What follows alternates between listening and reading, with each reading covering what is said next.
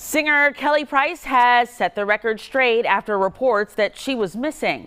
The singer says she isolated herself and avoided family members while she was recovering from COVID 19. Price says her battle with COVID 19 was serious and that she flatlined at one point and doctors had to bring her back to life. At some point, uh, they lost me. Um, I woke up some days later, a couple of days later, and the first thing I remember is the team of doctors standing around me and asking me if I knew what year it was. Wait, when you say they lost you, can you clarify what that means? Yeah, I, I, I died. I died. Wow, Price says she is not out of the woods yet.